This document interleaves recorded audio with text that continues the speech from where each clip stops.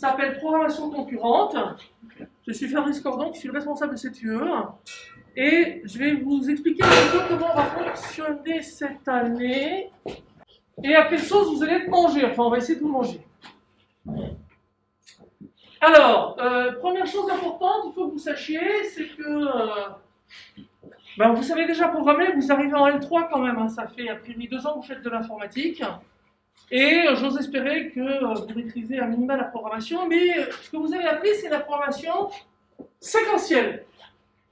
Et en fait, donc, vous êtes au courant que l'informatique envahit tout, hein.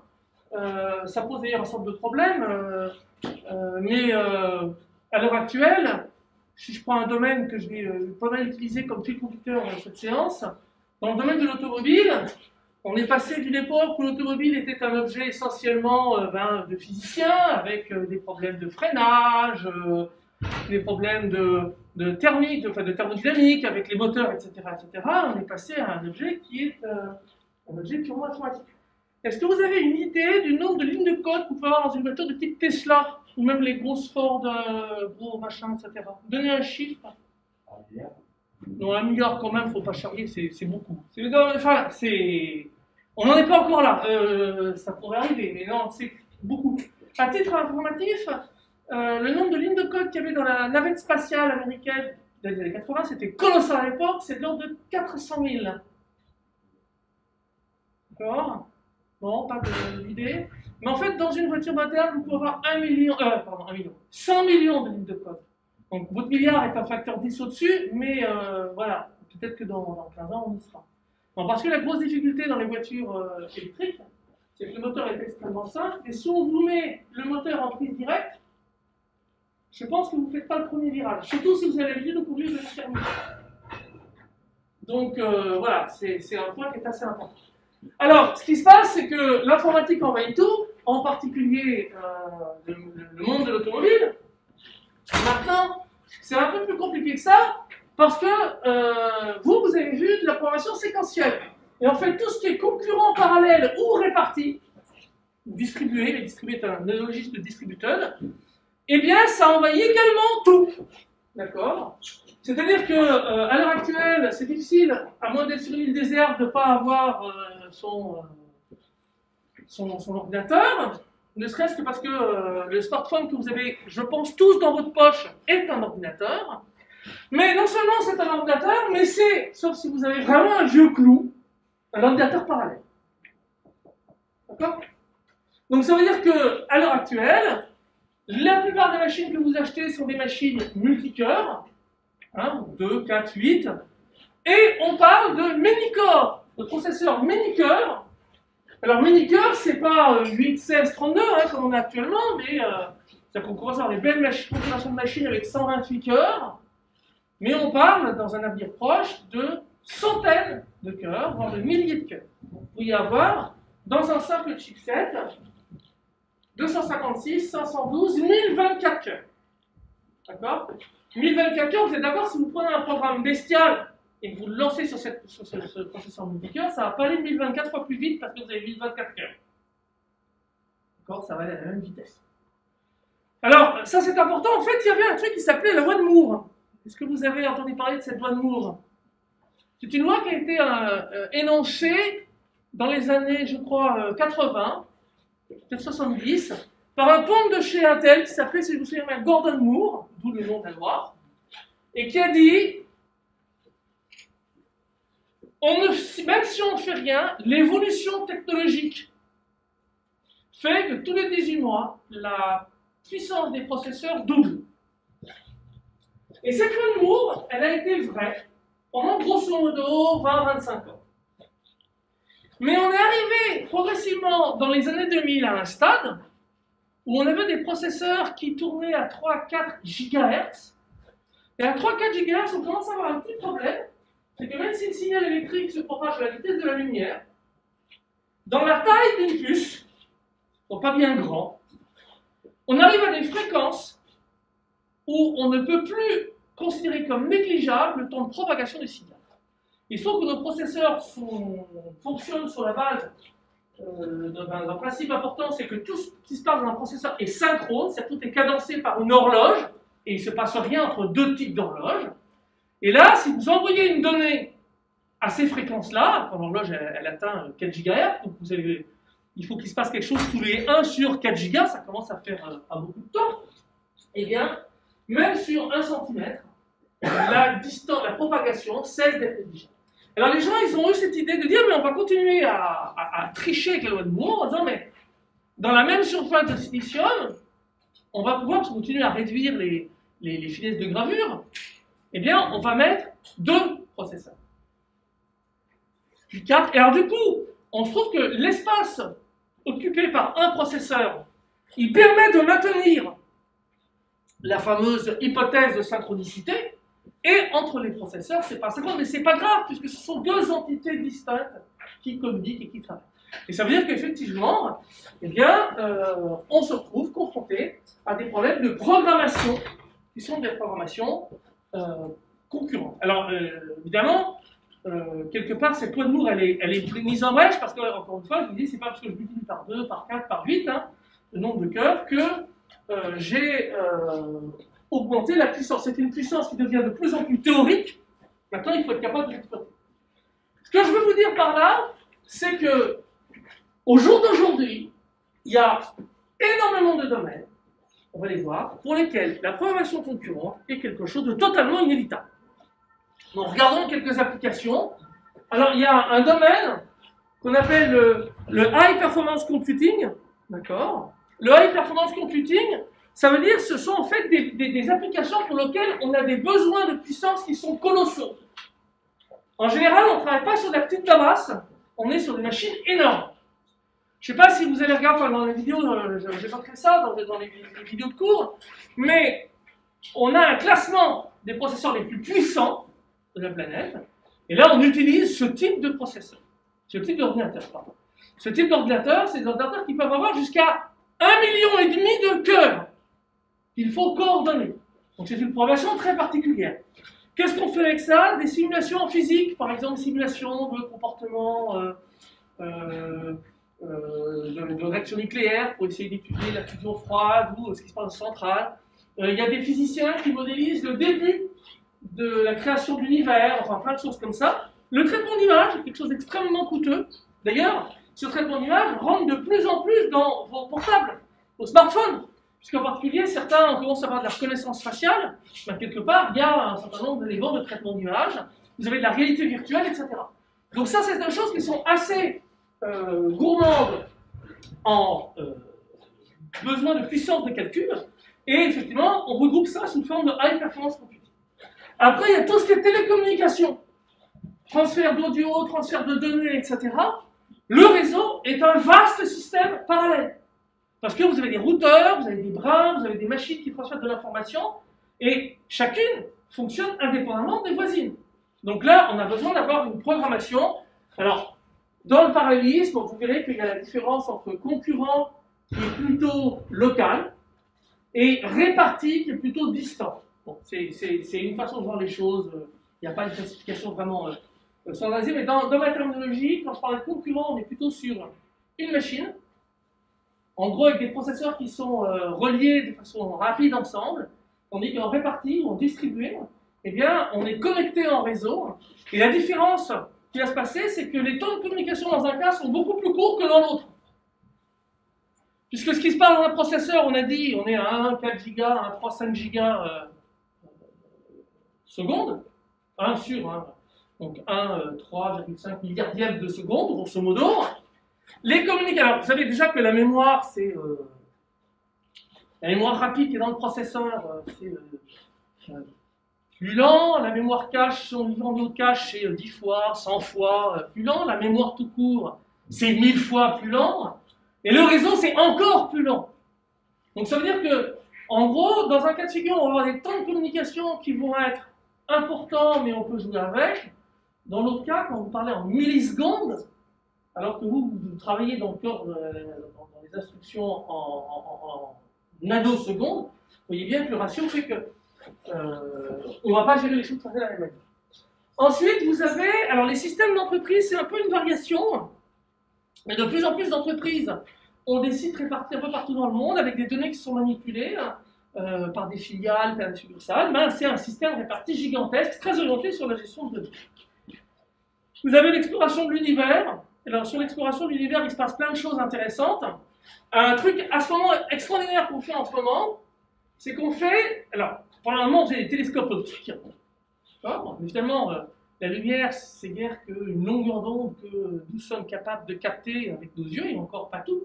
Il y a des, animaux sur la planète qui capturent des bandes plus larges. Et l'univers, on est même intéressé par des bandes passant encore plus larges. Donc, qu'est-ce que c'est qu'un télescope? C'est un, c'est un, une lentille, mais une lentille dans un certain nombre de fréquences. Et cette lentille, ça peut être une lentille physique, d'accord Au sens euh, télescope que vous pouvez acheter. Mais ça peut être aussi quelque chose de beaucoup plus large, ça peut être des capteurs. Et par exemple, ça peut être une constellation de satellites qui vous, qui vous captent des signaux à des endroits donnés, et par exemple qui sont distants d'un million de kilomètres, et qui vous font un télescope d'un million de kilomètres de focale. D'accord? Pour aller explorer le fond diffus cosmologique, c'est idéal. Votre petit télescope ne permettra pas de faire ça. D'accord? Parce que n'aura pas la résolution qui va. Alors évidemment, quand vous faites des constellations de satellites comme ça, ben, vous avez des satellites euh, qui ont chacun leur programme qui tourne dessus, qui sont distants d'un million de kilomètres, mais qu'il faut que vous aligniez quasiment au centimètre près. Si vous voulez que la résolution euh, soit celle qui nous permette d'explorer quelque chose comme le fond diffus cosmologique. Vous avez les smart cities, ou les villes intelligentes en français. D'accord? On parle beaucoup d'Internet des objets, Internet of Things en anglais. C'est qu'en fait, en gros, euh, euh, le fait que dans un bâtiment, vous avez des capteurs qui vont communiquer, qui font que, par exemple, quand il n'y a personne, la lumière s'éteint, quand vous rentrez, la lumière euh, s'allume, etc., etc. ça peut être toute une série de, choses comme ça, même propos avec le chauffage ou autre. Bon, mais là aussi, vous avez un système réparti parce que chaque capteur va avoir des programmes, il va envoyer de l'information à un concentrateur, à un, logiciel qui va piloter l'ensemble. Et puis, vous imaginez bien qu'il y a le niveau bâtiment, il peut y avoir le niveau quartier, il peut y avoir un niveau euh, plus global. Euh, vous avez euh, tout ce qui est santé. On commence à parler de choses comme des body area networks. Par exemple, vous êtes quelqu'un qui souffrait d'une pathologie particulière.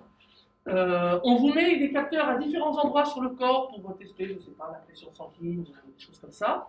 Et puis vous avez un concentrateur qui peut être un appareil, éventuellement que vous portez sur vous tout le temps, ou qui peut être un dans votre smartphone, qui va agréger toutes ces données. Et là aussi, vous avez du code dans les capteurs, et vous avez du code dans le concentrateur. Voire même parfois, vous pouvez avoir, parce que si c'est des capteurs euh, en RFID qui doivent communiquer ensemble, euh, le, le, le ou Bluetooth, c'est celle qui ne supporte pas très bien euh, l'eau. Or, votre corps, il est quand même vachement rempli d'eau, donc euh, un capteur devant, un capteur derrière, on a du mal à communiquer, il faut passer par un troisième capteur sur le côté, je ne sais pas, etc. Donc ça pose toute une série de problèmes qui sont assez intéressants, à commencer par les capteurs que vous mettez dans votre corps et qui doivent être capables d'avoir, de sortir. Il ne faut pas qu'ils soient trop puissants, parce que s'ils sont trop puissants, ils sortiront, mais il faut le changer tous les 15 jours. Et s'il faut une opération chirurgicale tous les 15 jours, c'est-à-dire ça va être trop intrusif pour un individu. Et puis, on va parler des transports, mais je vais détailler ça euh, juste après.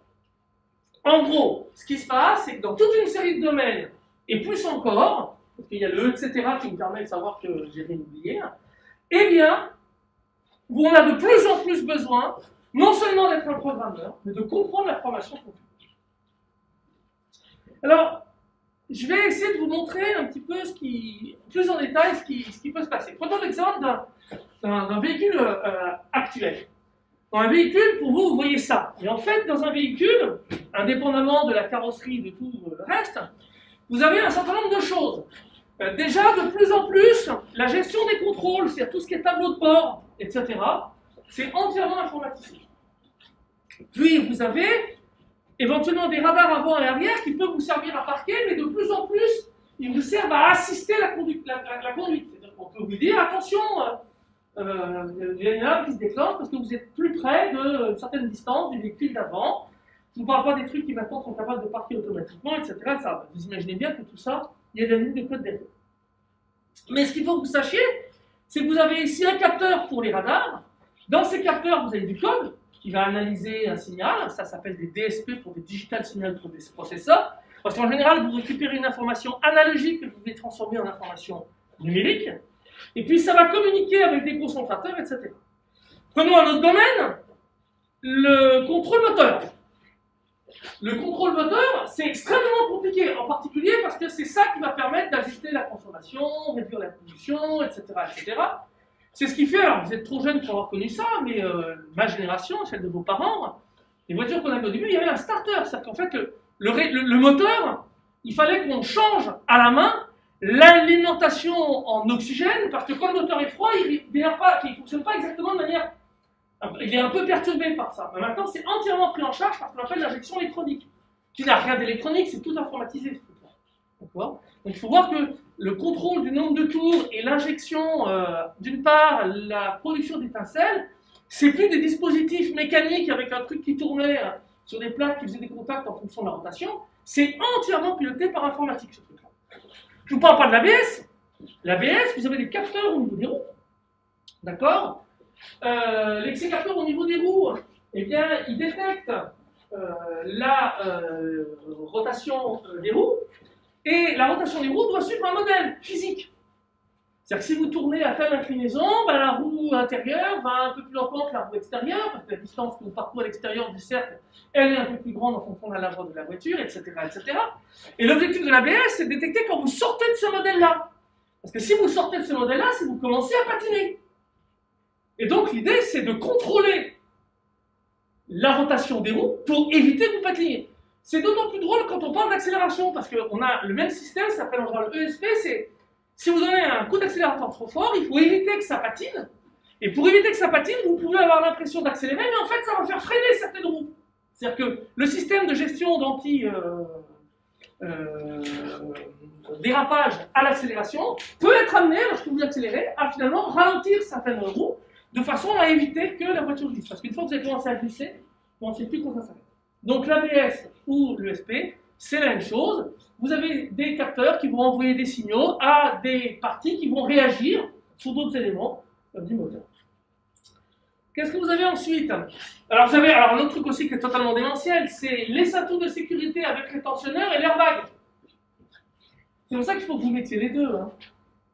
D'accord Parce que l'airbag, vous allez dire, oh, c'est un super coussin qui va me faire rater. Ta, ta, ta. Quand le coussin, il est gonflé à bloc, c'est un mur. L'intérêt de, la synchronisation, ça c'est une synchro qui est assez fine, entre la, ceinture et l'airbag, c'est que la ceinture va vous ralentir, mais si la ceinture, elle vous cloue au sol, elle vous défonce la cage thoracique, d'accord Si vous êtes lâché, vous vous éclatez la tête, non pas sur le volant, mais sur l'airbag, il faut simplement que l'airbag se gonfle, la ceinture vous ralentit suffisamment longtemps pour qu'au moment où vous arriviez sur l'airbag, il est prêt à se dégonfler. Et simplement, vous, en poussant avec vos têtes sur l'airbag, vous allez forcer l'airbag à se dégonfler, mais il va amortir votre chute en se dégonflant. Donc vous sentez bien la synchro qu'il doit y avoir entre le rétentionneur de ceinture et l'airbag. Donc encore une fois, des lignes de code, des lignes de code, des lignes de code. Et puis là, on finit par des trucs comme euh, l'air conditionnement, le, conditionnement d'air, des choses comme ça, ou le pire, qu'on appelle maintenant l'infotainment. C'est toutes les fonctions supplémentaires qui font d'ailleurs que votre voiture elle est maintenant connectée. Alors moi je déconnecte bien ma voiture, hein, parce que dire que connecté veut dire piratable D'accord C'est que effectivement, vous avez toute une série de, mécanismes. Par exemple, euh, tout ce qui est GPS, information avec le trafic, etc., c'est bien sympa.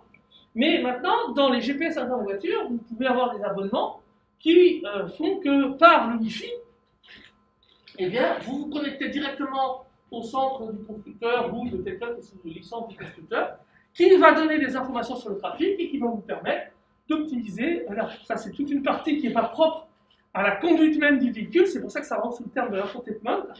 Je ne parle pas euh, de la possibilité d'avoir à l'arrière euh, de la vidéo, ça, je pense que ce soit vraiment intéressant, sauf côté des enfants qui hurlent et ça peut les calmer. Mais euh, tout ça, c'est des fonctions qui sont secondaires, qui sont liées euh, à euh, ça et qui impliquent des contrôles qui sont un petit peu répartis partout. Alors, ce qu'il faut que vous voyez là-dedans, c'est que c'est à tel point devenu un ordinateur, une voiture, que vous avez, dans les années 90, un groupe de constructeurs automobiles qui se sont fédérés les leaders, ce sont les Allemands. C'est-à-dire que là-dedans, euh, ils ont vraiment pris de Et ils ont été jusqu'à créer un standard de réseau local dédié au monde automobile. Parce qu'effectivement, dans votre voiture, ce n'est pas un réseau Ethernet. Parce que le réseau Ethernet n'a pas les bonnes caractéristiques, temps réel, etc., qui conviennent à ce type de système. Vous imaginez bien que, euh, ah merde, il y a l'engorgement de paquet parce que le mec il écoute la radio, donc euh, la commande de freinage n'est pas arrivée à temps. Euh, On ne peut pas jouer à ça, hein, c'est hors de question. D'accord? Donc du coup, c'est dans les réseaux qui ont un, statut un peu particulier, et ça a abouti à la création d'une norme qui s'appelle AutoSAR, et qui est devenue quasiment incontournable dans le monde automobile, sauf pour ces couillons de constructeurs français, dont les dirigeants n'ont pas encore compris euh, ce qui se passait, qui tournent sur les équipementiers pour ça. D'accord? Et c'est aussi pour ça que vous avez, eu une augmentation phénoménale. Alors ça a eu deux intérêts, cette norme AutoSAR. La première, c'est qu'avant, les systèmes étaient connectés point à point. Donc vous imaginez les kilomètres de fil de cuivre qu'il fallait mettre dans une voiture pour connecter eh ben, euh, la commande de montée automatique de la- de- du Lévy, parce que c'est aussi un truc euh, qui est compliqué, parce qu'il y a des capteurs. euh, il y a des capteurs quand vous avez des voitures, parfois sans montant, quand vous ouvrez la porte, la, voiture, vitre descend un petit peu pour bien rentrer dessous, pour éviter que ça goûte dans la voiture. Enfin bon, des choses comme ça. Et ce qui se passe, c'est que maintenant, tout ça, c'est relié à un réseau. Donc vous avez un vrai réseau, dans des conditions pas toujours très sympas, parce que le moteur, ça tourne très vite, donc ça génère un champ électromagnétique. Vous savez que les réseaux, il faut les protéger un peu. Le réseau, il est blindé, etc. Mais donc, une voiture aujourd'hui, quand je vous disais tout à l'heure, ça peut faire 100 millions de lignes de code, les constructeurs qui ont annoncé ça, Ford, euh, Tesla, ça doit être dans ces eaux-là aussi, eh bien, c'est pas tout à fait étonnant. Tesla, c'est même pire. Tesla, chaque Tesla vendu a son jumeau numérique. Alors, qu'est-ce que c'est que le jumeau Alors, ça, c'est un truc qui devient de plus en plus courant, pas que pour les voitures, mais là, on a un bon exemple. Le jumeau numé- numérique, c'est une machine virtuelle qui tourne chez Tesla. Il y en a une par Tesla vendue dans le monde. Et la Tesla, elle est connectée, 3G, 4G, donc euh, quand elle est déconnectée, elle est déconnectée, mais elle accumule des informations. Et quand elle se reconnecte, elle transmet des informations à son jumeau numérique. Combien de kilomètres j'ai parcouru Est-ce qu'il y a eu une alerte interne au moteur Etc. etc. Alors, c'est assez génial parce que ça permet aux constructeurs d'avoir une vision, éventuellement de pouvoir sonner des alertes. Attention, euh, ton véhicule va peut-être avoir tel problème, il faut faire telle ou telle révision. Ça permet aussi à Tesla, qui vend des véhicules avec des capacités, euh, euh, des, distances par- parcourues avec une charge qui est variable. Vous avez euh, les Tesla qui ont euh, 320 km d'autonomie et celles qui ont 550 km d'autonomie, des trucs comme ça. Ça permet à Tesla, par exemple, quand il y a un ouragan qui approche des côtes américaines, de dire tous les usagers de Tesla en Floride, pendant 15 jours, même s'ils ont 320 km d'autonomie, je les passe à 550. Parce qu'en fait, entre la voiture à 320 km et la voiture à 550, il y a zéro différence. Il y a juste un flag logiciel qui dit Ah, toi tu fais que 320 km. D'accord C'est un peu terrifiant, euh, parce que du coup, vous pouvez vous dire que si la voiture elle est volée, enfin, si, si, euh, quelqu'un pirate, ben, il peut arrêter votre voiture. Mais, donc, vous voyez que euh, tout ça pour vous dire qu'effectivement, toutes ces raisons font qu'on n'est pas étonné, au bout du compte, de voir une quantité de lignes de code phénoménale. Et la nature même du véhicule qui est un système réparti, j'ai détaillé ce truc-là, mais vous avez plein d'autres domaines, vie intelligente et autres, que je viens de vous citer, pour lesquels c'est exactement la même chose, et bien c'est pour ça que vous avez besoin de faire de la programmation concurrente, parce que tout ça, euh, ça interagit pas euh, par hasard.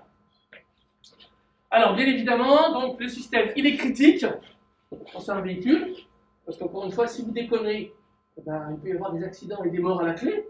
D'accord C'est réparti parce qu'effectivement, vous avez un système. Et puis, il y a des contraintes temps réel, parce qu'effectivement, euh, vous ne pouvez pas vous permettre d'attendre 10 minutes que le freinage agisse. Donc voilà. Alors, ce qui est très compliqué avec la programmation concurrente, c'est que c'est bizarre parce que notre cerveau est une machine parallèle extraordinaire. Là, je vous parle et je marche en même temps. Indépendamment que- du fait que si je prends le neurone comme étant un processeur élémentaire, on a des milliards dans le cerveau. C'est un- c'est une belle machine parallèle.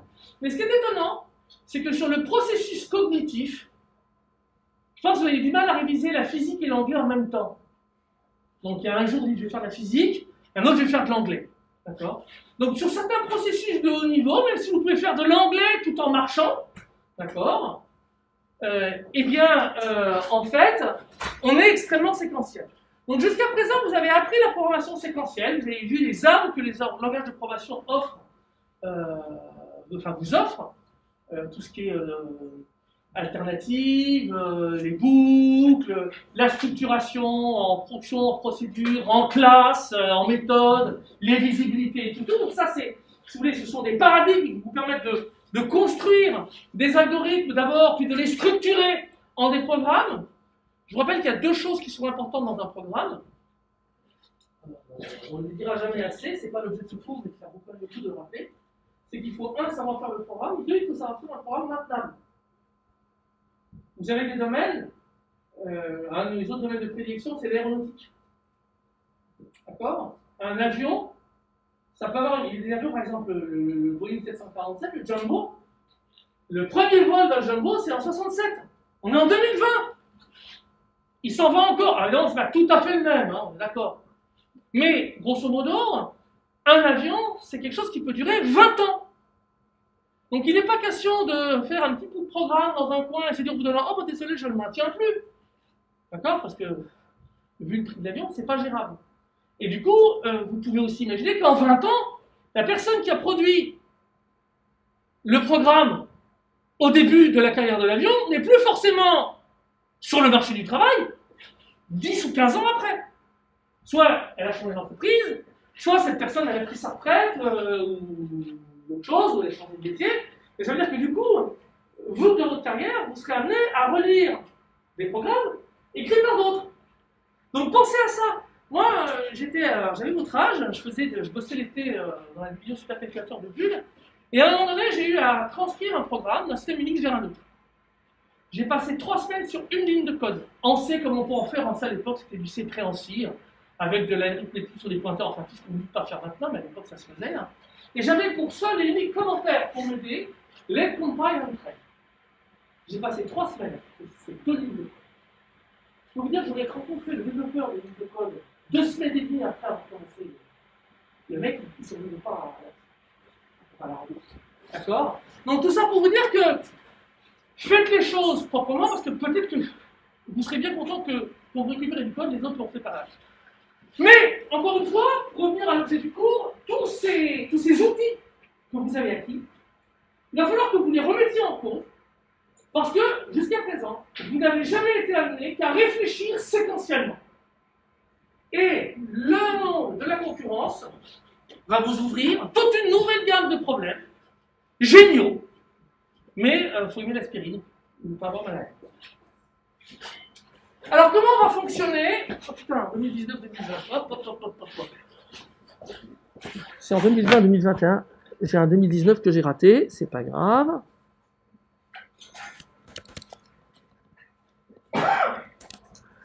Alors, en gros, depuis quelques années, on a fait cette expérience d'avoir des cours qui sont en ligne. Donc il y a eu un corpus de vidéos qui a été tourné, puis qui est régulièrement enrichi de nouvelles vidéos. D'accord?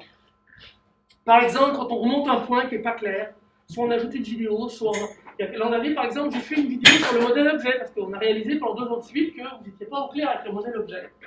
Et qu'une petite couche supplémentaire euh, faisait pas mal. Faisait pas. Donc on a un certain nombre de vidéos, et on a trois cours en live. Donc ça, c'est le premier. Et on verra comment on lieu les, les suivants.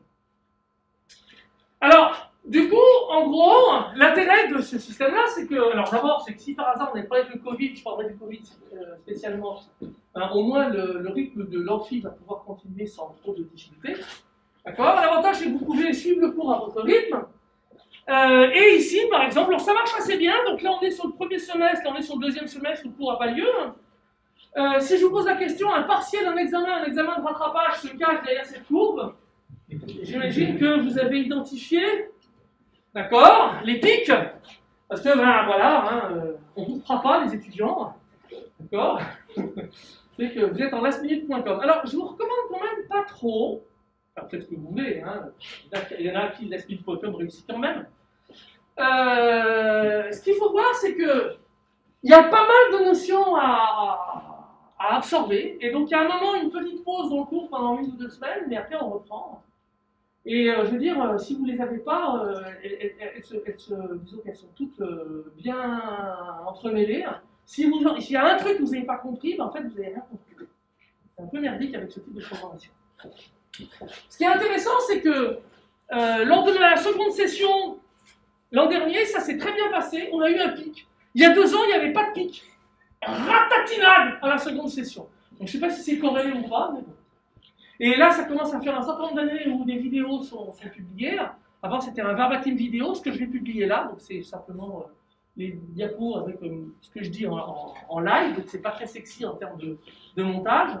Donc moi, je laisse pas ma chemise en termes de temps, et puis c'est, ça ne nécessite pas de, de- de ressources techniques très importantes.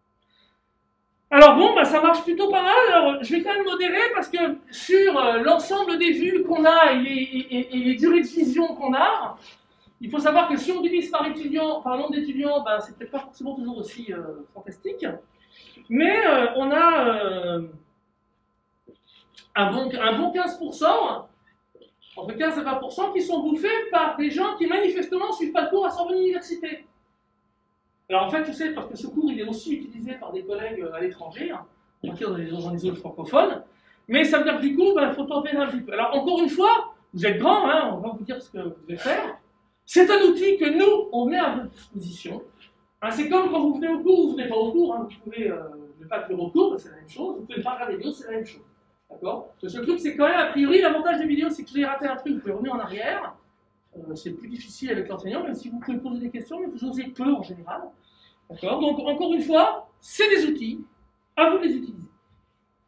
Et puis, le reste, on va avoir un travail, euh, tiens, il y a le la qui est mangé. On va avoir un travail qui est euh, classique, avec des TD, travaux pratiques, des travaux, enfin, des travaux euh, sur machine et des travaux dirigés. Euh, modulo, bien évidemment, euh, la situation sanitaire. Alors, on va, on va expérimenter. Il se pourrait qu'on ait quelques étudiants de l'Université de Genève, puisqu'on m'a demandé euh, d'ouvrir l'UE à des étudiants de l'Université de Genève, qui, comme ça, eux, assisteront à distance. Pour pas qu'ils vont faire un aller-retour TGV par semaine. Euh, donc, je rappelle que les leçons magistrales sont en ligne. Je vous mets ici l'URL de l'UE, mais elle est référencée depuis le site de la licence. Si vous avez le site annuel des UE, vous tombez dessus. Vous avez toutes les ressources qui sont là-dedans, d'accord? L'accès aux vidéos, etc., le plan des cours. Vous verrez que je vais vous montrer un petit peu comment fonctionne le site. Euh, je publierai semaine par semaine. Alors, vous pouvez aller regarder évidemment les années passées, même si parfois il y a des arrangements euh, de vidéos qui changent un petit peu. Mais l'idée, c'est il y a un rythme. La recommandation, c'est de suivre le rythme. D'accord? Parce qu'il y a un temps d'assimilation euh, des, Euh, tout ce qui est travail, travaux dirigés et puis travaux sur machine, eh ben, on va travailler avec Moodle, mais je pense que vous avez l'habitude de Moodle maintenant. Donc tout sera installé sur Moodle. Les sujets de TD, les sujets de TP, vous aurez en, TD euh, juste les sujets de TD au format papier. Le reste, vous sur ordinateur, donc vous n'avez pas, on n'a pas besoin de gâcher du papier pour ça, etc. etc. Et puis, euh, bien évidemment, alors je, vais revenir là-dessus, il y a aussi euh, un forum. Donc, Voilà. Alors, avant de parler de forum, j'ai dit qu'il y avait trois leçons en live. Donc, il y a celle d'aujourd'hui. La semaine d'après le premier examen. On parle plus de partiel maintenant. Euh, qui, a priori, ce premier examen, si j'ai bien compris, devrait avoir lieu le 22 novembre. La semaine d'après, il y a une correction en live. Alors j'espère que vous pourrez la tenir en live. Ce qui est vachement intéressant, c'est que euh, vous avez encore le souvenir, parfois douloureux, de l'épreuve. Et du coup, ça vous permet de poser des questions en ayant encore en tête ce qui s'est passé. C'est que j'aime bien le faire la semaine d'après. Euh, donc voilà. Et puis, euh, l'idée, c'est d'avoir une troisième séance en live. Euh, donc la, deuxième séance en live, j'arrive avec le corrigé. Et en gros, je vous montre comment on peut avoir 20 points en une heure. Et le reste du temps, souvent, c'est des questions. Et la dernière séance, euh, eh bien, qui a priori, euh, si j'ai bien compris, aura lieu le 18 décembre, c'est plutôt une séance de questions. Alors, si par hasard ça marche vraiment pas ces séances en live, on essaiera de les faire en Zoom, enfin, on trouvera une solution. Euh, Mais l'idée est que euh, vous puissiez poser des questions et que vous puissiez interagir. Alors, sur ces les deux premières séances, celle-ci et celle du 27, en général, j'essaie de faire des verbatim vidéo. C'est pas la chose que les vidéos, c'est que vous avez la séquence complète, éventuellement divisé en quelques grandes parties, qui est enregistré, qui est accessible en ligne. C'est-à-dire que vous pouvez le repasser euh, si vous n'avez pas compris certaines choses ou au moment de, de, du rattrapage, si vous avez un rattrapage. Mais encore une fois, c'est pas parce que je donne un verbatim vidéo que ça ne vaut pas le coup de se réveiller, parce que verbatim vidéo, si vous avez une question qui n'a pas été posée, eh bien vous êtes marrant. Si vous êtes là, vous pouvez poser votre question. Autre chose aussi, c'est que, alors là, je suis assez étonné, on a mis en place depuis quelques années des forums. L'idée étant, ben, vous avez accès à vos enseignants pendant les TD, pendant les TP, euh, mais vous n'avez pas forcément accès à l'enseignant euh, en, phase de cours, puisque vous avez euh, les cours sont en vidéo. L'idée, c'est que ça peut être intéressant si vous préparez vos exercices, si vous avez des questions particulières. Votre génération, elle n'arrête pas de chatter, réseaux sociaux, machin, etc. Alors, est-ce que le forum n'est pas la bonne manière de le faire? Mais l'an dernier, on a eu 15 messages sur l'année. Sur les réseaux sociaux, à l'époque, on avait 6 groupes. Bon, le, changement de maquette fait que euh, on change de géométrie, il n'y a que deux groupes cette année, mais sur 120, euh, 6 groupes, c'est. Si, c'est en fait, on était 200 sur 200 étudiants, il y a eu 15 messages échangés sur le forum en un an. Alors, encore une fois, c'est pas grave, hein. Le problème, c'est qu'au début, on essaie de regarder très régulièrement ce qu'il y a sur les forums. Tous les soirs, on va un coup d'œil. Si effectivement, au bout de 15 jours, il n'y a rien eu, ben, on finit par regarder tous les deux jours ou par les trois jours. Et finalement, il y a un étudiant qui a posé une question un peu tard dans l'année, ben, on avait perdu l'habitude de regarder sur le forum qu'il n'y avait jamais rien. D'accord? Et que hélas, le forum nous donne, il ne sait pas nous envoyer une alerte quand il y a un message. Euh, donc du coup, là aussi, essayez, n'hésitez pas à utiliser ces outils. On vous les laisse. Si vous n'en servez pas, vous n'en servez pas. Mais euh, j'attire votre attention sur leur présence et que c'est dommage de ne pas profiter de la situation pour euh, soulever les questions que vous posez. L'équipe pédagogique. Donc l'équipe pédagogique est toute issue de l'IPSIS. Ce n'est pas une absurdité parce que 90% des informaticiens de cette université émargent à ce laboratoire. C'est de loin le plus gros laboratoire d'informatique de la région parisienne et c'est un des plus gros labos d'informatique de France.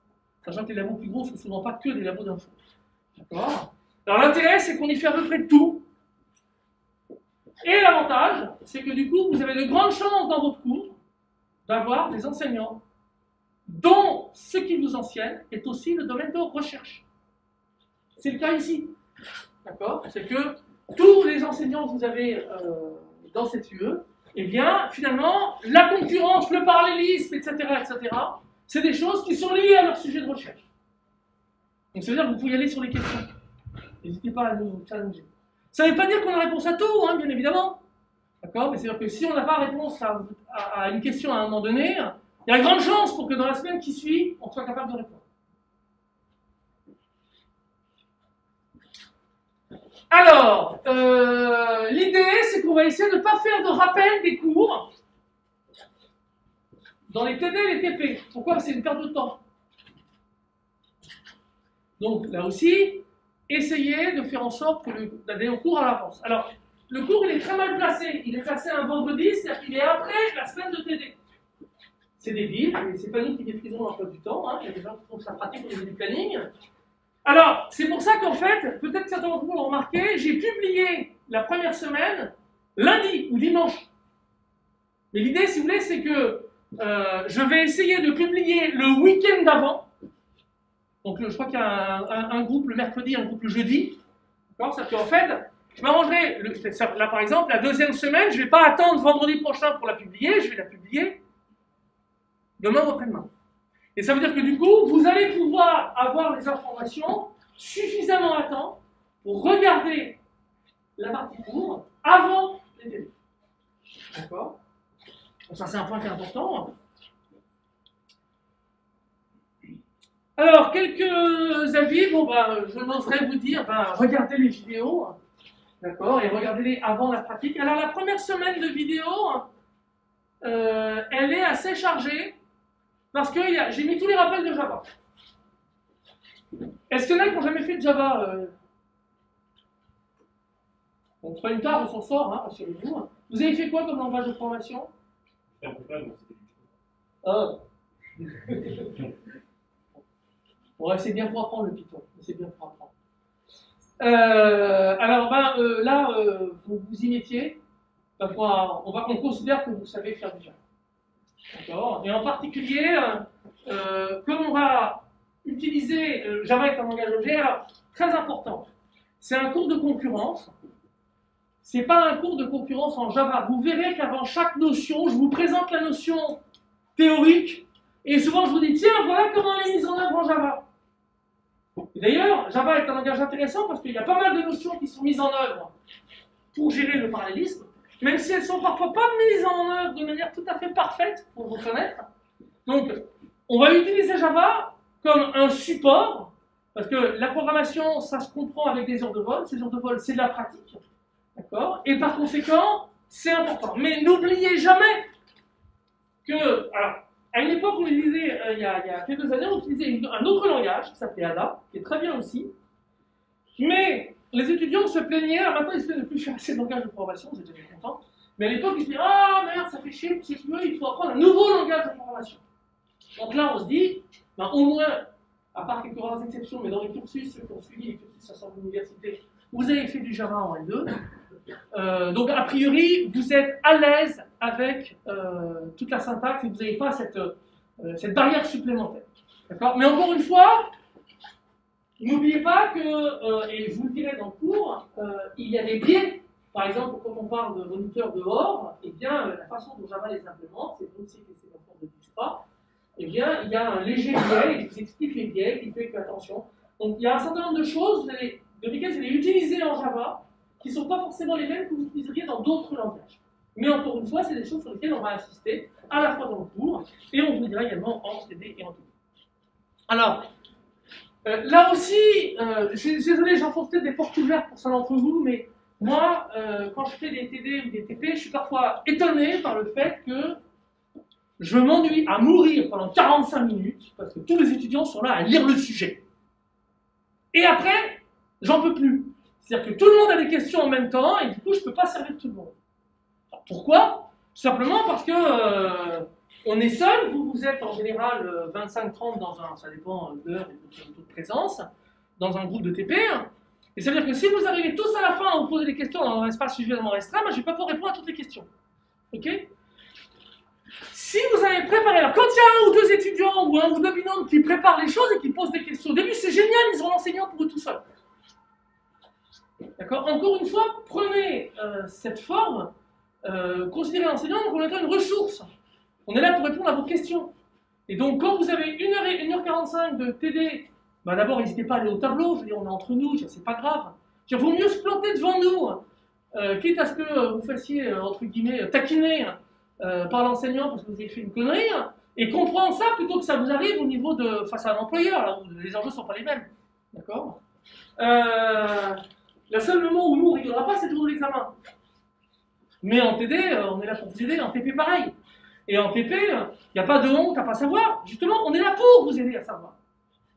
Donc là aussi, prenez vraiment vos enseignants comme des ressources, mais utilisez-les intelligemment. Et donc, essayez d'anticiper sur les préparations. Arriver en n'ayant pas lu le sujet de TD, en n'ayant pas lu le sujet de TP, c'est pas très efficace. Parce que vous perdez trois quarts d'heure en début à lire le fameux sujet. D'accord?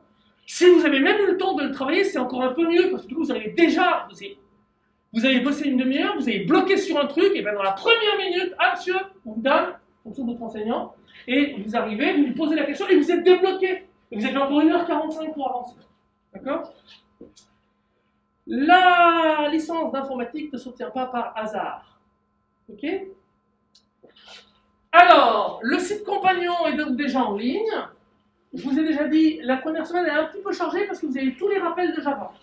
En général, j'ai essayé de faire en sorte qu'il y ait grosso modo entre 1h30 et 2h de cours, donc grosso modo la durée du cours en vidéo toutes les semaines. Sauf la première semaine où c'est plutôt 2h30. Et c'est à cause de ces rappels. Alors vous pouvez décider de les zapper. Bon, il y en a un qui va surtout pas les zapper, même il va apprendre un bouquin en plus et puis Java pour les il va s'y mettre. D'accord? Mais c'est pas forcément débile de les regarder quand même. Bon, il n'y a pas que les rappels Java, il y a aussi d'autres éléments. Alors pourquoi? Euh, Tout simplement parce que euh, ça va vous remettre les idées en tête. Je suis pas sûr que vous ayez passé votre temps à faire du Java tout l'été. Donc euh, ça va vous mettre une petite couche. Et en particulier la vidéo sur l'objet, à mon avis, ça vous mettra les choses, les choses en place. Vous noterez bien évidemment qu'il y a des vidéos que j'ai dit qui ont été mises à jour. Bah, parfois, il y a des corrections de bugs. Parfois, des bugs aussi par des étudiants. Un machin, etc. Bon, on corrige. Donc, a priori, euh, avec le taux de avoir de moins en moins, donc euh, signalez-nous, il n'y a pas de problème. Euh, si vous trouvez des choses étranges, il ne faut pas hésiter. Ah oui, vous pouvez aussi trouver de l'aide via l'association des étudiants informatiques de Paris 6, enfin de Centre Université, pardon, qui s'appelle Alias. Alors, j'ai mis le site web. quand j'ai essayé, il était down, donc j'ai signalé ça euh, à- aux étudiants qui connaissent euh, les gens de la SOC. Euh, Est-ce que c'est le serveur qui est tombé, ils l'ont rebooté ou autre? Mais l'idée, encore une fois, euh, toujours, ça va être compliqué avec le confinement, etc. Mais peut-être que du coup, euh, si les étudiants, les étudiants, ça peut vous inclure vous aussi. Hein. Vous imitez du vôtre, vous pouvez aussi partager un certain nombre de choses, sachant que si vous êtes amené à expliquer à un copain ou une copine euh, pourquoi, enfin, il y a quelque chose qu'il n'a pas compris, c'est pas bénéfique que pour la personne à qui vous expliquez le concept. C'est en général bénéfique également à vous, parce que pour expliquer quelque chose, il faut que vous, soyez suffisamment au carré euh, dans votre tête, et ça vous oblige à vous poser des questions sur ce que vous avez, euh, saviez déjà. D'accord? Donc ça vous aide aussi. Alors, euh, petit slide typique. Alors cette année, j'espère que ça ne durera pas. Donc savez que vous savez qu'on est sous le coup d'une épidémie particulière, donc un nombre de dispositifs. On a demandé, peut-être que vous l'avez déjà entendu, mais on nous a demandé de, vous le rappeler. Donc si vous présentez les syndromes euh, de type Covid, ben c'est pas la peine d'essayer à force euh, d'aller en en cours, euh, euh, contaminer tout le monde. Contactez votre médecin traitant. Il y a un dispositif qui s'appelle Comisan Pro, que vous pouvez contacter soit par mail, soit par téléphone, qui permet en particulier de tracer les cas contacts, c'est-à-dire les gens avec qui vous pouvez avoir été en contact, et de les prévenir, éventuellement qu'ils se mettent en... C'est plus des quatorzaines, c'est des septaines maintenant. D'accord Très bien, le département de licence informatique. Donc il y a une page qui a été mise en place. Alors l'idée, c'est pas qu'on va pas mettre votre nom, ça, on va garder l'information confidentielle. Mais c'est important pour euh, le département de licence savoir si on ferme euh, des cursus ou si on ferme les... Ça va dépendre du nombre d'étudiants. Donc si on a zéro donnée, on a zéro info, on ne fermera pas. Et du coup, c'est pas forcément très très bien d'un point de vue sanitaire. D'accord? Donc s'il n'y en a pas, il n'y en a pas, tant mieux, hein, nous on préfère ça. Mais euh, s'il y en a, il faut qu'on puisse euh, gérer les choses. Sachant que euh, là aussi, euh, si par exemple vous êtes amené à être confiné, eh bien on va voir comment on peut mettre en place un dispositif. Là par exemple, vous pouvez accéder aux vidéos toujours. Je vous rappelle que Moodle est accessible à l'extérieur de l'université, donc vous pouvez y accéder aussi de chez vous. Euh, J'imagine que vous disposez tous d'une machine sur laquelle vous pouvez installer. Oh mon dieu, je vais poser la question qui tue. Qui n'a pas Linux sur sa machine?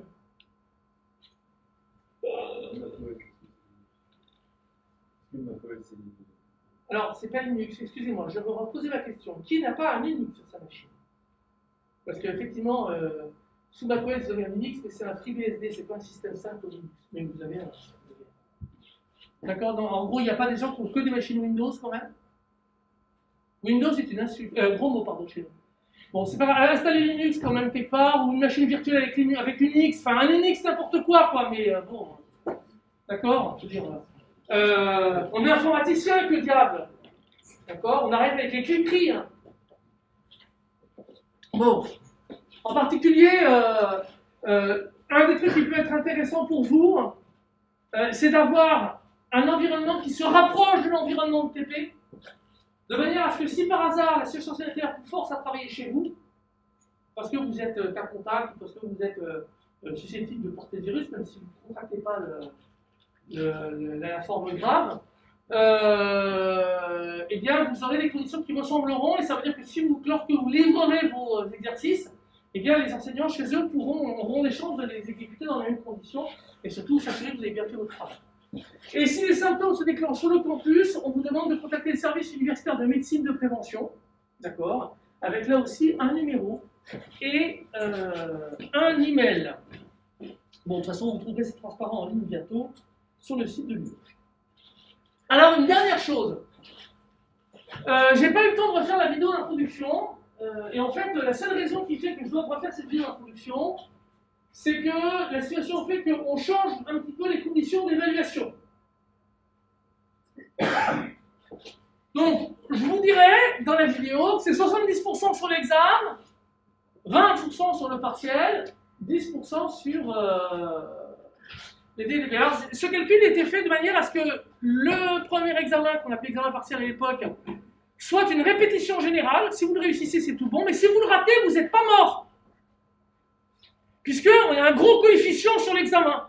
Et on avait de fait son étudiant qui se plantait à au premier examen, réalisait que ben, peut-être qu'il fallait qu'il change de braquet en termes de boulot, et qu'il réussissait le deuxième examen. Là, il a été décidé qu'on ne peut pas être plus de 50% de la note sur l'examen final. Bon, très bien, donc on est 50% de la note. Et ça veut dire que du coup, le premier examen va compter pour 30%. Et euh, les notes qui seront issues de tout ce qui est en TDCP vont compter, elles, pour 30%. Ça veut dire que là, la recommandation, elle est qu'il faut vous y mettre tout de suite. Parce qu'avec 30% de coefficient, si vous voterez au premier examen, c'est quand même chaud de rattraper euh, une très mauvaise note au deuxième. D'accord? Parce que le coefficient est plus important. Voilà. Alors, bien évidemment, ça c'est ce qu'on vous annonce au jour d'aujourd'hui. Euh, on espère ne pas avoir à en changer. Il se peut qu'il y ait des évolutions parce que, bien évidemment, il y a des changements qui vont être amenés par la situation sanitaire. Donc là aussi, l'idée c'est, euh, on va essayer de faire des évaluations. Il est possible que les enseignants fassent des évaluations complémentaires. Nous, on aime beaucoup les évaluations individuelles parce que ça n'a aucun intérêt de noter X fois la même copie. L'idée c'est d'évaluer ce que vous, vous êtes capable de faire. Donc si vos enseignants euh, organisent des des évaluations, hein.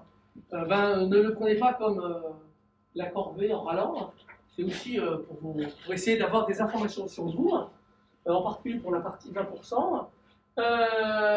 soumettez vos travaux de pratique régulièrement.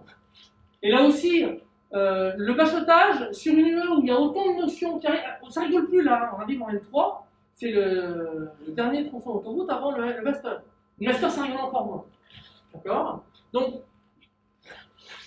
il faut que vous commenciez à vous mettre dans un ordre de marche qui fait que si vous avez trouvé le 3, bah, d'abord vous ayez un dossier décent pour euh, rentrer en master. Je vous rappelle que l'entrée de master n'est pas de droit. Et ce n'est pas parce que vous avez L3 à Sorbonne Université que vous rentrez forcément dans un master à Sorbonne Université. Il y a un certain de cas de figure. Euh, donc ça dépend, on regarde en général intelligemment tout votre cursus. donc ce qui s'est passé l'année dernière, ce qui se passe cette année, la dynamique de progression, etc. etc. D'accord? Et donc là-dessus, si vous voulez, le la pratique régulière, elle a un avantage, c'est qu'elle elle, va vous, elle, va, vous mettre plus à l'aise. En partant dans une UE, tout ce qui est UE de programmation, les heures de vol ont un rôle très important. Pourquoi? Parce qu'en fait, la performance d'un programmeur, c'est sa rapidité à saisir une situation et à trouver une solution. Et cette capacité, elle est importante en examen puisque vous avez un temps limité pour résoudre un problème. Ok? Donc si vous avez compris une notion, mais que vous réfléchissez lentement, ben vous ferez bien une partie de l'examen, mais vous n'aurez pas tous les points. Si vous avez compris la solution, le, problème, vous savez trouver une solution, et qu'en plus vous êtes rapide, ben bingo. D'accord? Donc, cette pratique régulière, plutôt qu'une euh, semaine de bachotage intensive, elle est bien meilleure parce qu'elle va mettre en place des schémas cognitifs dans, dans, votre façon de réfléchir. Et ces schémas, ils seront bien installés le jour de l'examen. Donc là aussi, euh, rien ne nous empêche de rajouter un petit peu de travail personnel. Euh, ah, je ne sais pas quoi faire ce soir. Euh, il n'y a pas de match à la télé, de toute façon tout est confiné. hop, je me fais un petit programme parallèle. Multiplication de matrices concurrentes, un truc rigolo, et puis je vais voir ce que ça fait. alors, si, il y a un dernier truc que j'ai appris hier. Alors, il y a des salles de TP dans lesquelles vous aurez TP. Euh, vous pouvez d'ailleurs amener vos machines, hein, si vous êtes des machines et qui souhaitent. Euh, évidemment, euh, ça vaut d'avoir des configurations un petit peu équivalentes. Euh, vous utilisez une bibliothèque graphique qui est préinstallée sur les salles de la PPTI, mais on pourra vous en délivrer une copie pour que vous l'installiez sur votre machine, de manière à pouvoir préparer les TP ou faire les TP sur cette machine-là. Sinon, euh, l'idée, c'est qu'ils ont acheté des claviers avec euh, une couche protectrice qui fait que vous pouvez les laver à grande eau ou avec, euh, mettre du désinfectant dedans sans flinguer le clavier. D'accord? Il semblerait que ce soit à vous, en début de séance, il y aura du produit dans les salles, de donner un petit coup sur les claviers. Voilà, donc c'est l'information que j'ai apprise. Un certain nombre de dispositifs ont été mis en place quand même pour essayer de faire les choses de manière la plus saine possible. Bon, bah c'est tout. Est-ce que vous avez des questions? Ah, une question. Enfin, des études des questions. Oui. Alors, euh, oui et non. Vous observerez que tous les partiels et examens des dernières années sont en ligne. Pour chaque partiel, vous avez accès à la séance au verbatim vidéo de la séance de correction en live. Pas pour l'examen. Alors pourquoi? Parce que nous, évidemment, on a des corrigés, mais les corrigés sont pour les correcteurs, ils sont pas pour nous. Tandis que le corrigé que je fais en live, il est à votre intention. Donc il est intéressant. D'accord? Donc vous avez effectivement des corrigés de, cette forme-là. Et comme je ne fais pas de, de, de, de vidéo pour euh, les, examens, il y en a pas. D'accord? Mais vous avez tous les sujets sur les cinq dernières années. Donc il y a quand même de quoi faire. Alors après, il se passe quelque chose, c'est que au moment où on révise, parfois les étudiants font un exercice et ils ont un doute. Alors on peut comparer entre vous les solutions que vous trouvez. Et moi, il m'arrive de recevoir des mails. Ah, j'ai regardé, on est 3-4, on a fait le machin. Alors il y a ceux qui pensent que c'est ça la solution et ceux qui pensent que c'est ça la solution. Qu'en dites-vous À ce moment-là, ben, un enseignant normalement constitué, il essaiera de vous répondre. Parfois, ça attendra le week-end. Parce que vous allez peut-être découvrir, vous ne savez peut-être pas, mais euh, ne devenez jamais enseignant-chercheur si vous voulez vous arrêter à 35 heures par semaine. Voire même arrêtez-vous la licence, ne devenez pas cadre non plus. Euh, mais en général, l'enseignant, il vous répond euh, sous quelques jours. et donc, du coup, vous avez la réponse. Et on trouve, enfin, personnellement, je trouve que c'est beaucoup plus efficace de réagir comme ça parce que souvent, parfois, quand on a le corrigé, alors il y a le cas pathologique où vous imprimez, vous dormez dessus en pensant que ça va percoler dans votre cerveau. C'est pas très efficace. Mais parfois, vous avez tendance à regarder le corrigé avant d'y avoir réfléchi. Et encore une fois, c'est pas la même chose. C'est très tentant, si vous voulez, d'avoir. Dans le cas de mon anniversaire, après, je trouve qu'avoir le corrigé, c'est plus utile, parce que ça m'arrive de bloquer sur les corrections, et j'ai besoin de la corriger pour commencer. Ben là, vous avez vos enseignants. Mais c'est juste que j'explique forcément à des heures extrêmement. Euh, mais le mail, ça, vous pouvez envoyer un mail à n'importe quelle heure. C'est génial le mail, c'est asynchrone. C'est juste que imaginons je bloque, euh, j'ai pas forcément. J'ai besoin d'un réponse. Donc c'est un choix commun qu'on a fait. Donc on, vous avez les corrigés pour tous les partiels. Ça couvre grosso pas mal de choses qui sont effectivement sous une forme un peu particulière. Et vous avez bien regarder ça. Et puis vous n'avez pas les corrigés pour les examens, mais bon, euh, désolé, est-ce que vous avez d'autres questions? Oui. Pourquoi pas du C ou du C++ Pourquoi pas du C ou du C++ Pourquoi Java? Alors, euh, en fait, au départ, pourquoi Java? C'est une bonne question. Au départ, on était sur ADA. ADA qui a un modèle de gestion de, de, parallélisme qui est un peu moins riche que Java, mais par exemple par rapport à l'implémentation de certains objets comme les, sémaphores, les, les, sémaphores, oui, mais surtout les moniteurs dehors, est beaucoup plus exact par rapport à la théorie. Mais on nous reproche, les étudiants, comme je disais tout à l'heure, nous reprochaient d'avoir appris un nouveau langage de programmation. Et c'est vrai que certains étaient gênés par une nouvelle syntaxe qui est très différente en plus entre ADA et, et, et Alors pourquoi on n'est pas passé à C++ Parce que on aurait, Le passage à Java permettait d'être plus unificateur sur euh, le langage et donc de vous débarrasser de la lourde tâche d'apprendre un nouveau langage de programmation. Et alors après, euh, si j'avais fait choisir un langage pour le parallélisme, on n'aurait surtout pas choisi C++, même s'il y a de bonnes bibliothèques, parce que C++ travaille une complexité intrinsèque. Euh, je veux dire, encore une fois, pour perturber l'objet du cours. Je ne pose pas de, jugement de valeur sur C++, que nous utilisons beaucoup en recherche euh, pour faire des prototypes de, logiciels, mais euh, c'est un langage qui est compliqué. Et en fait, euh, on a hésité, pour être franc, on a hésité en Java, des langages comme Erlang, des choses comme ça qui sont vraiment dédiés au parallélisme. Euh, et encore une fois, si on a choisi Java, c'est pour trouver que les bibliothèques qui offraient des fonctions pour gérer la concurrence étaient raisonnables et que vous étiez censé ne pas avoir à continuer un nouveau langage de programmation. Sachant que euh, moi, j'aime bien le polyglotisme en informatique, mais vous en avez déjà pas mal. Vous avez fait du C, il y en a certains qui ont fait du Python, il y en a qui ont fait euh, du, du camel. D'accord Alors, ce qui est intéressant, c'est que je pense que vous commencez à, à avoir le recul qui fait que apprendre un nouveau langage de programmation n'est pas un problème. Moi, alors bon, j'ai un peu plus d'expérience que vous, hein. apprendre un langage de programmation, le souci, moi, c'est que les premiers jours, je suis avec la, la, feuille de syntaxe euh, sous les yeux tout le temps. Mais grosso modo, ce qui est important pour apprendre un langage, je regarde quels sont les concepts majeurs que je vais y trouver. Par exemple, euh, la façon dont est géré euh, les classes, l'héritage, etc. Après, euh, ben, vous avez tout le temps des XNS, différentes formes de boucles. Après, c'est la gestion des classes, la visibilité des méthodes des classes qui va changer. Ou voir, j'ai pas de classe, parce que je suis en langage fonctionnel, des choses comme ça. Mais vous devez être suffisamment agile déjà pour réaliser qu'il y a un ensemble de concepts, un cœur conceptuel que vous trouvez dans tous les langages de programmation. D'accord? Voilà. Donc, on a jugé que vous aviez assez de polyglotisme comme ça, et que du coup, ça allait permettre d'aller plus loin dans la partie concurrente, sachant que c'est des choses qui deviennent de plus en plus euh, critiques à l'heure actuelle. Après, euh, il y a du pour et du contre. Vous verrez, ben, je, discuterai abondamment de ce qu'on vient de faire du Java bashing à certains moments, parce que les mecs, euh, ils, se la sont coulés douce sur certains. Sur certains. Mais euh, pour être franc, c'est vrai qu'ils sont aussi embêtés par la machine virtuelle. Vous aviez une question? Pourquoi est-ce qu'on utilise la programmation orientée objet? Alors, euh, pourquoi ce la programmation orientée Parce que Java est un langage orienté objet et que vous verrez, l'implémentation des classes utilise ces mécanismes-là. D'accord? Donc c'est pour ça que vous êtes... En particulier, si vous voulez, un point important, c'est qu'à un moment donné, euh, vous allez voir, dans la programmation concurrente, contrairement à la programmation séquentielle, vous avez un fil d'exécution, vous en avez plusieurs.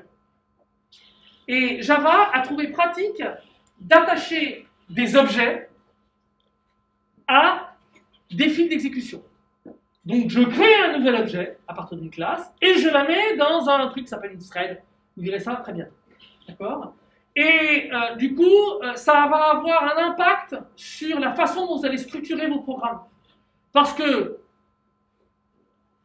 en fait, euh, les méthodes de votre classe il faut qu'elles s'exécutent toutes au même endroit. Alors c'est très cohérent avec le modèle objet parce que les gens qui ont théorisé les langages objets au tout début, euh, c'est à la fin des années 70, en fait, ils ne se posaient pas la question du support d'exécution. Et c'est-à-dire qu'en fait, entre un objet et un fil d'exécution, ils s'en foutaient un petit peu. D'accord? Le problème n'était pas là. Euh, après, il se trouve que les implémentations se sont focalisées sur la partie euh, bah, séquentielle, parce que les processeurs étaient séquentiels à l'époque, et qu'il y avait très très peu de machines parallèles, et que ces machines parallèles étaient très particulières et se programmaient de façon extrêmement spéciale. Donc avec des langages dédiés, enfin bon, c'était vraiment très très spécial. Euh, mais du coup, voilà, alors Ada est un langage qui supporte aussi l'objet. Erlang, je ne suis pas sûr qu'il soit objet, je ne me souviens plus. Mais je veux dire, euh, il y a des langages qui offrent des mécanismes de parallélisme qui euh, sont plus qui à une époque n'étaient pas forcément objets. Euh, par exemple, un langage comme OCaml, à une époque, est un langage entièrement centré sur le parallélisme, n'avait aucune notion d'objet. Mais il se trouve que celui qu'on a choisi là, on aurait pu faire du C plus des bibliothèques POSIX, mais alors là, vous tiriez, ça c'est quelque chose que vous ferez peut-être en master, mais là, vous tirez un une complexité, enfin, il y, a, toute une mécanique à apprendre qui va vous perturber par rapport à la gestion du parallélisme. Donc finalement, c'est sympa. Vous restez au niveau d'un langage de haut niveau avec toutes les fonctions que vous avez l'habitude d'avoir dans un langage de haut niveau maintenant. Et simplement, on va rajouter des fonctions supplémentaires pour gérer des fils d'exécution. Pas d'autres questions?